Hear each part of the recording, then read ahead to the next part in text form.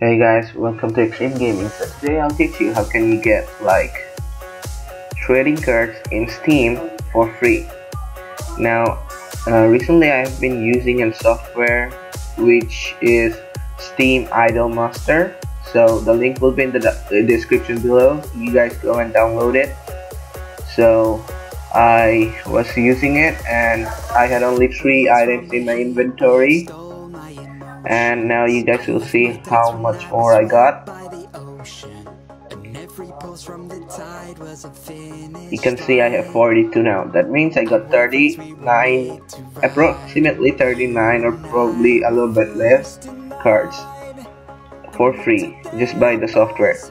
So what you need to do is just download the software. The link will be in the description.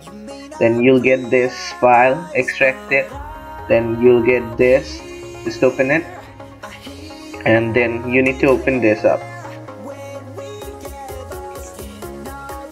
After opening this software you need to like sign in with your steam account. I have already signed in so after signing into your steam account it will like play your games and give you the card drops. Then you just need to play and then you'll get like uh, items in your inventory I just opened it and I got an item in my inventory. You can like change your games which drop you want. And like this you can get uh, more items in your inventory.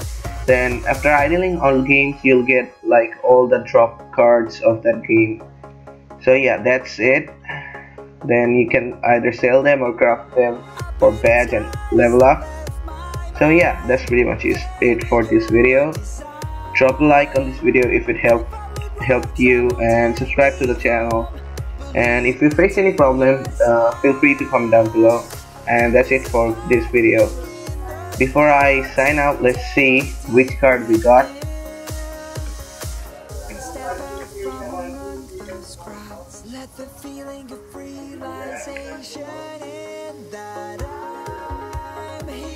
Okay, you can see I have 5 new items in my inventory.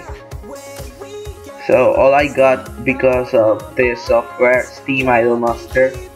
One from Payday 2, one from a, a game which I didn't know, another from Payday 2. And yeah.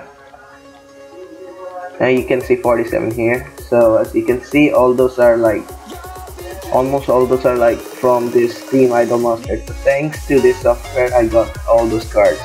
So yeah, that's it for this video. Peace out.